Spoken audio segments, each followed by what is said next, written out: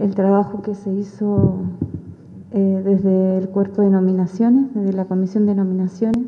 La verdad que fue un pedido que fue mm, aceptado de forma unánime, teniendo en cuenta lo que generaba Vivian eh, dentro de lo que es el, estadio municipal, la residencia deportiva donde él siempre nos recibía cuando íbamos y, agradecerle a la familia que está presente porque sé que es un momento también doloroso, pero nosotros acá queremos reconocer eh, el trabajo, el compañerismo que él tenía eh, hacia el resto de los empleados del municipio.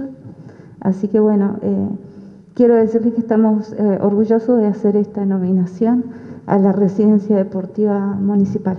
Tal cual lo manifestaba la concejal a la hora de definir, decíamos que existe siempre un tiempo para poder colocar un nombre, eh, un tiempo de, fallecido.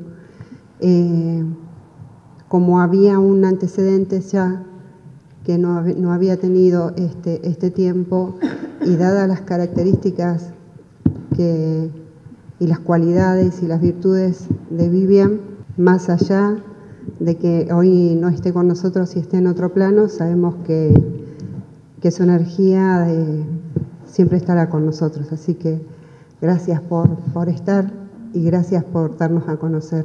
Vivian era una persona alegre, siempre con su termo bajo de brazo, charlando y, y brindándonos lo que él mejor hacía, que era sonreír y darte una mano cada vez que podía.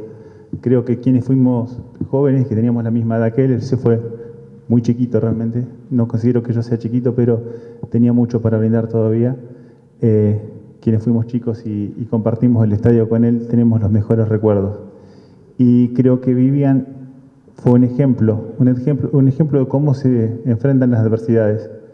Él, más allá de, sufrir de su discapacidad, la enfrentó, ayudó a su familia, creció, trabajó y nos dio lo más importante que nos puede una persona, un ejemplo y amor. Así que celebro la vida de Vivian y un abrazo grande para Juan Artículo primero.